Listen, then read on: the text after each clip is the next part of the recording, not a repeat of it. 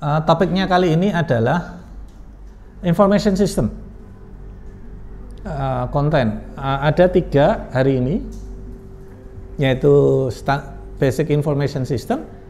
Yang kedua adalah uh, healthcare information system yang digunakan di information system dan information system untuk higher education. uh, information system itu harus memenuhi uh, komponennya itu sebetulnya ada people, ada data, information. Ini tadi baru saya tambahkan pagi tadi. Ada network, ada hardware, software, ada prosedur. Ini harus terpenuhi. Mungkin susah dipahami. Paling gampang Anda menggunakan WhatsApp HP. Ada prosedurnya enggak? Membuka HP-nya aja. Ada kan lock ada prosedurnya kan? Ada manusianya nggak nih? Anda sebagai user. Ada people-nya nggak di belakang supportnya? Ada. Anda terasa repot nggak? Anda harus ingat bahwa pengguna user system itu tidak boleh melihat kerepotan di belakangnya. Tidak boleh. Emang Anda tahu kerepotannya supportnya di belakangnya WhatsApp. Enggak kan? Anda senang-senang aja kan? Sharing foto iya. ini cepat lancar nggak ada crash update ada gitu. Iya. tapi yang mengelola di belakangnya apa? Memastikan sistemnya nggak down memastikan sistemnya lancar servernya cukup. Coba grup itu kan dulunya cuma dibatasi 40 sekarang 1000 ya?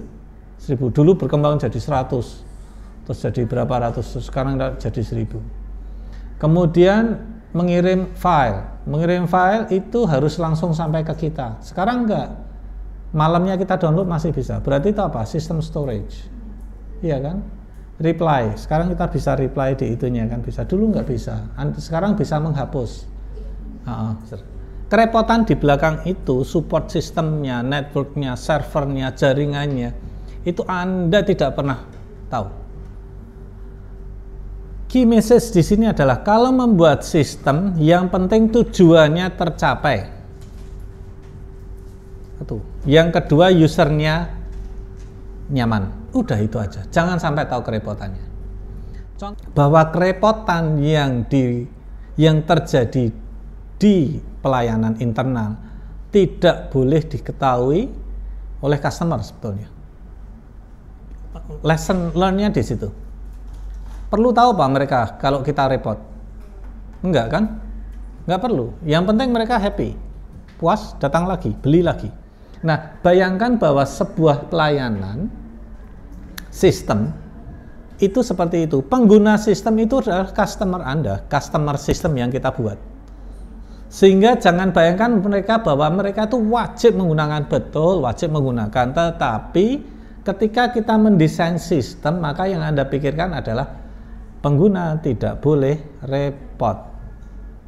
Kenapa? Kalau pengguna repot dan tidak suka kemungkinan data yang dimasukkan tidak valid atau error.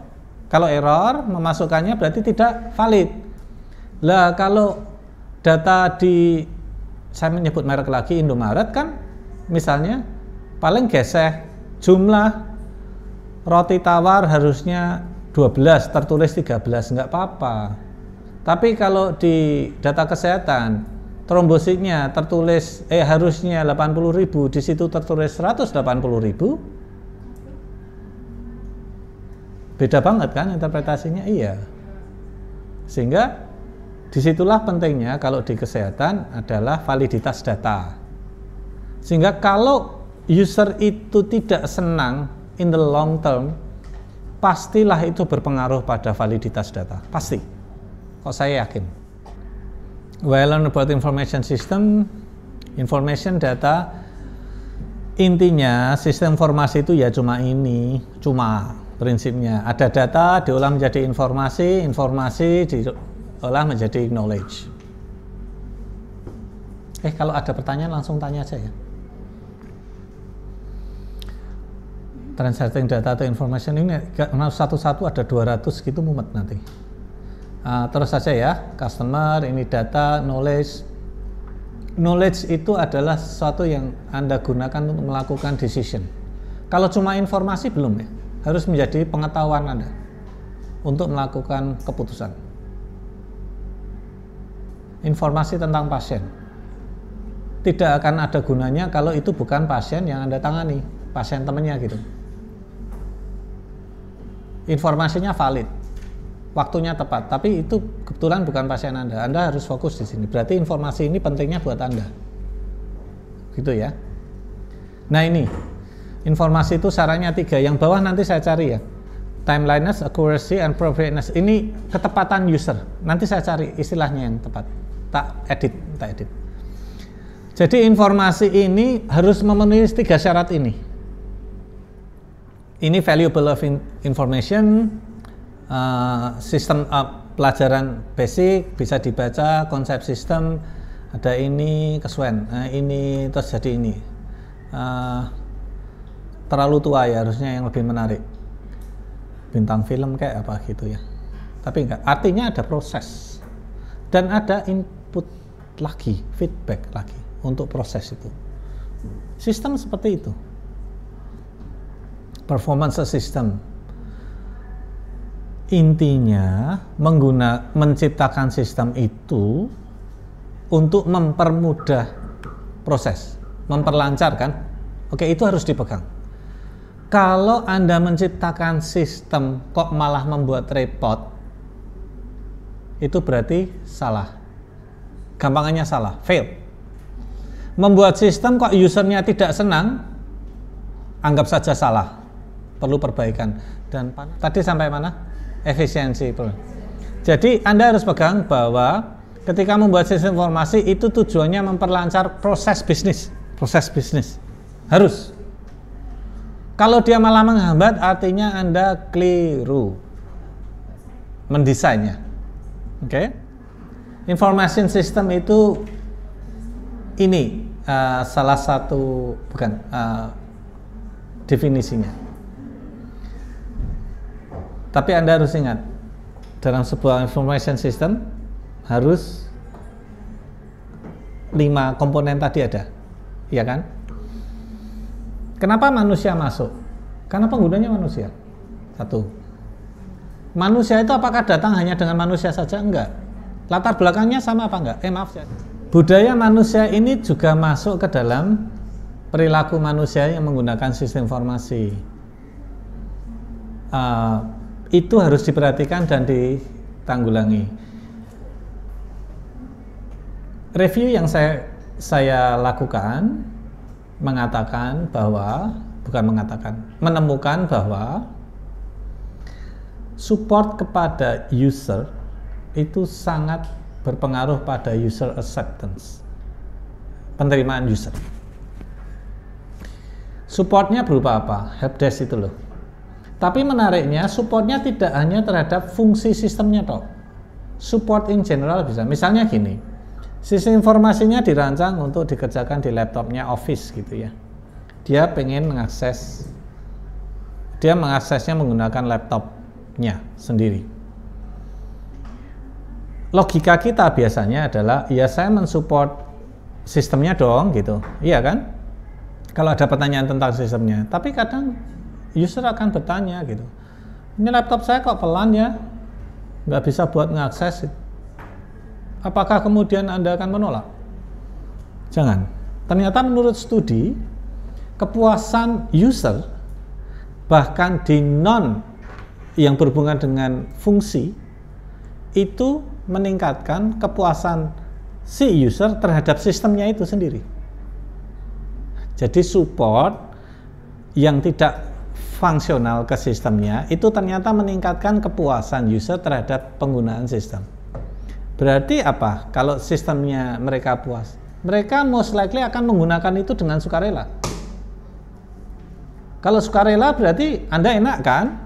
Uh, tidak harus ngoyak-ngoyak, lengkapi dong, lengkapi dong gitu. Iya kan? Berarti Anda uh, memanipulasi data kan, memanipulasi, menganalisa data nantinya gampang. Komponennya ada ini, processing, feedback, ya sama ya.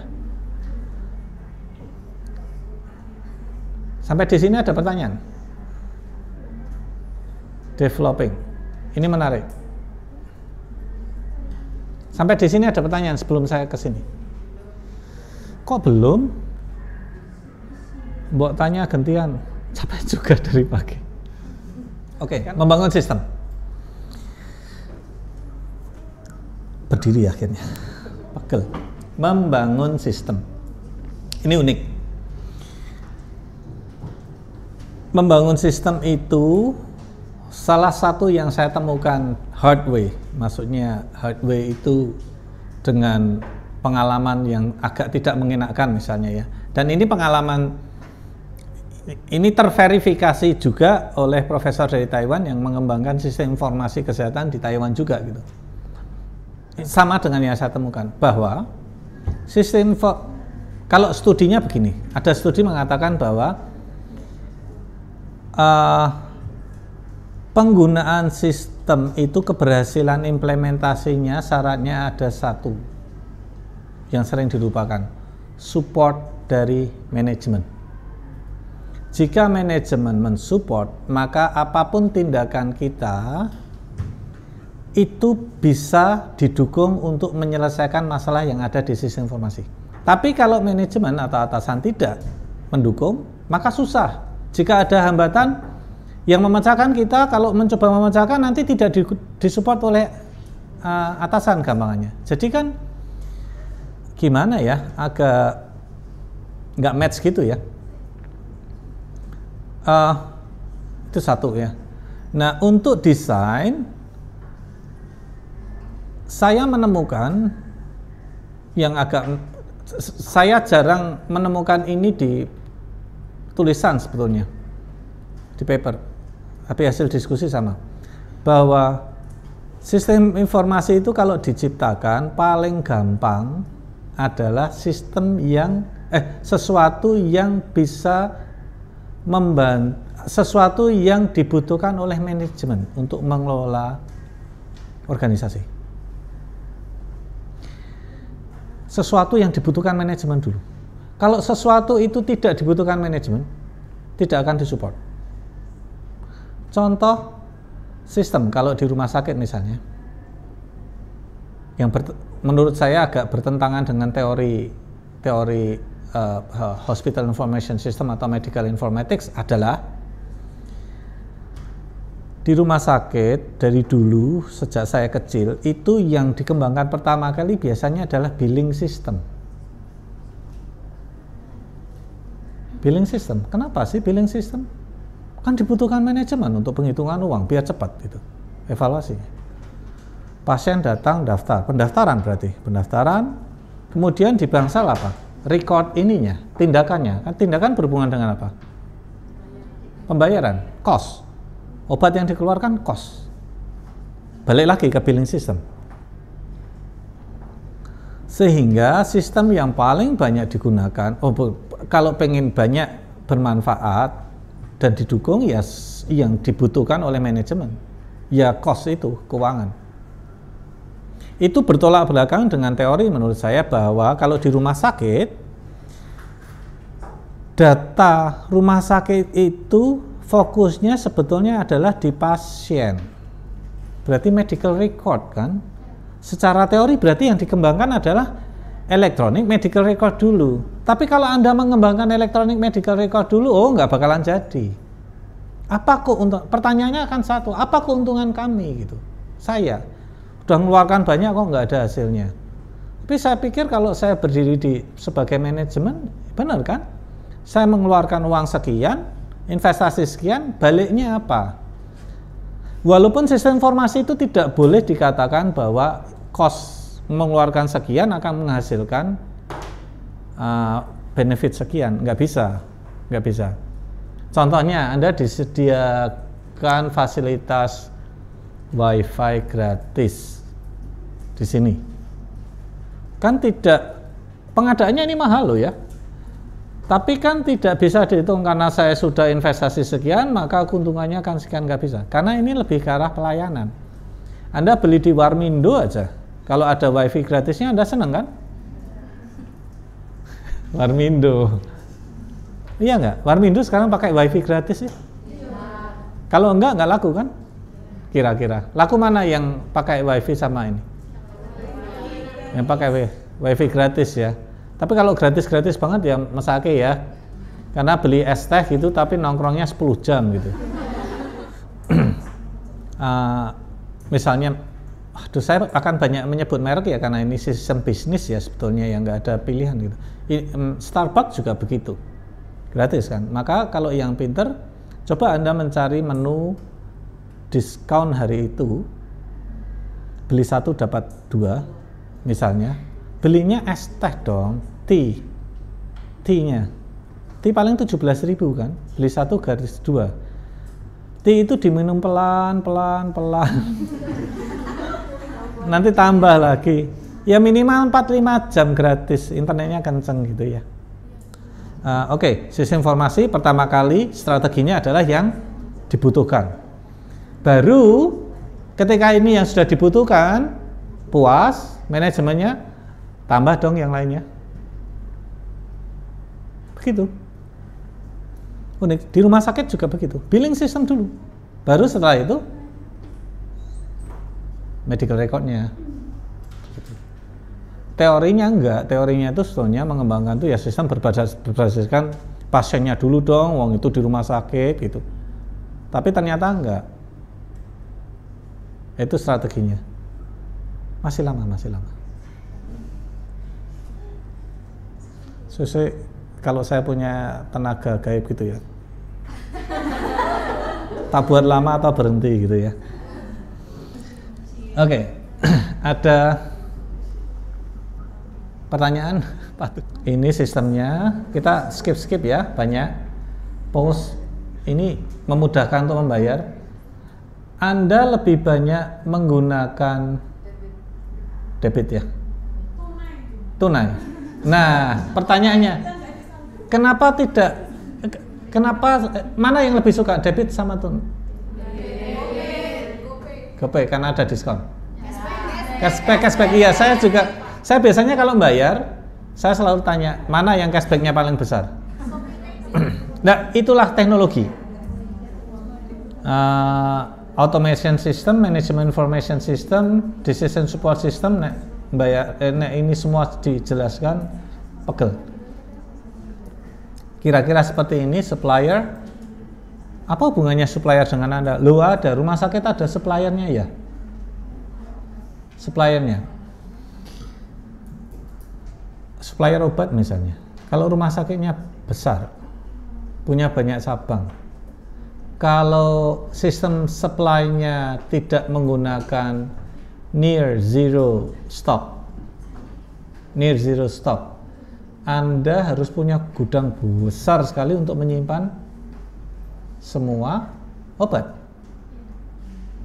Tapi kalau menggunakan sistem near zero stock, konsepnya, berarti yang bertanggung jawab mensuplai obat atau barang-barang itu siapa? Iya yang jual gampangannya. Entah itu supplier atau yang jual. Tanggung jawab Anda apa? Saya tanggung jawabnya kita hanya menyediakan data bahwa stoknya sekian sekian diprediksi sekian. Sehingga saya nyeply siapa? Stok udah. Berarti kita nggak perlu punya gudang besar. Itu kalau nggak pakai sistem informasi nggak mungkin. Keuntungannya kita ngirit dong. Tapi untuk bisa seperti itu apa yang uh, apa yang anda bayangkan harus ada standar yang sama sehingga data itu bisa saling tukar menukar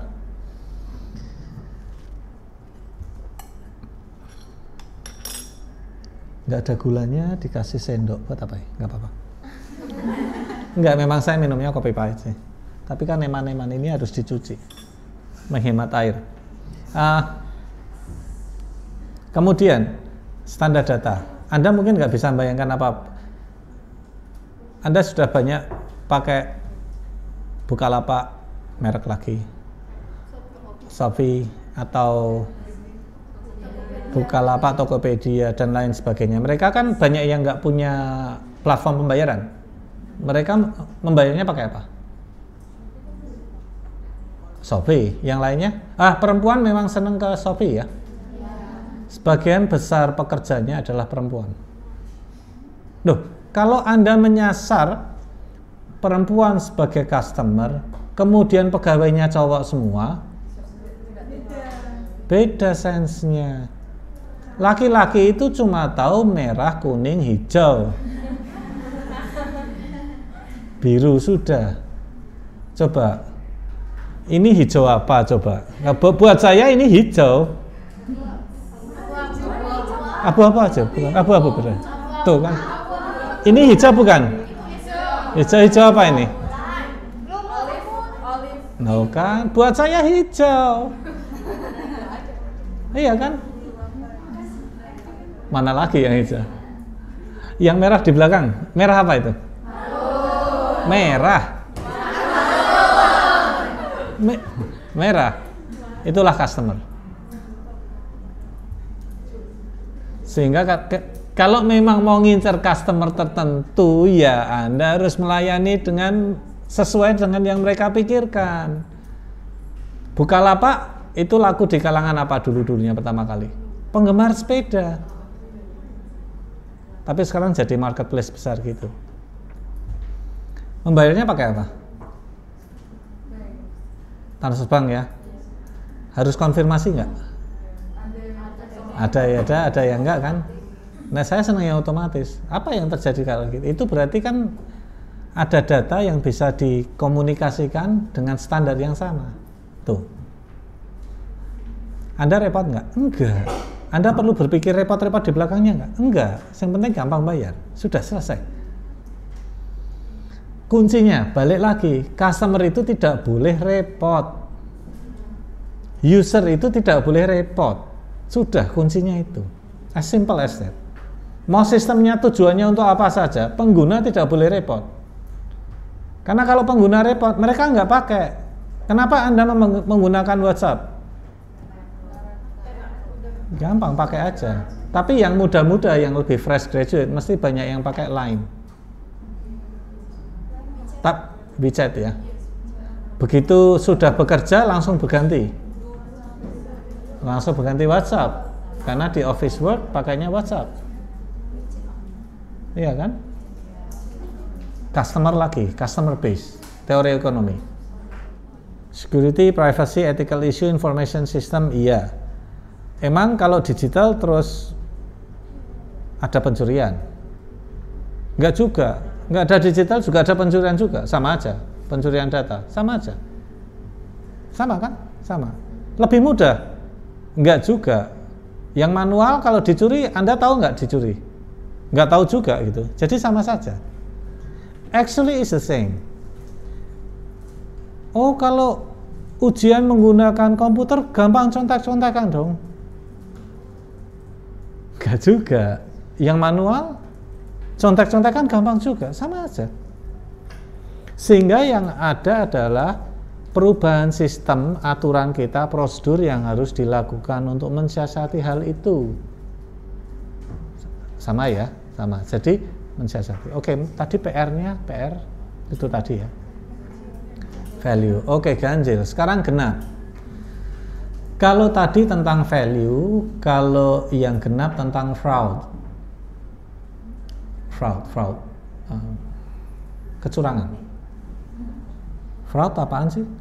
A wrongful or criminal, criminal deception intended to result in financial or personal gain. Kecurangan yang terjadi di dunia digital, di sistem, di fokusnya ada di dua hal ya, healthcare dan di mana? Pendidikan.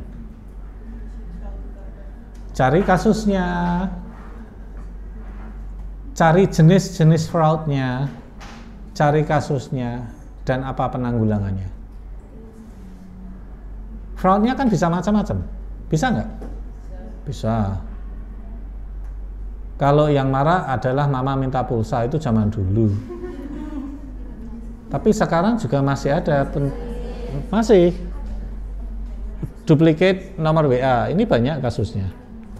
Iya kan? Teman information oh ya, standar security data di sini belum ada. Yang ada UU ITE ya, itu lebih ke arah hak kewajiban membocorkan gitu ya siapa yang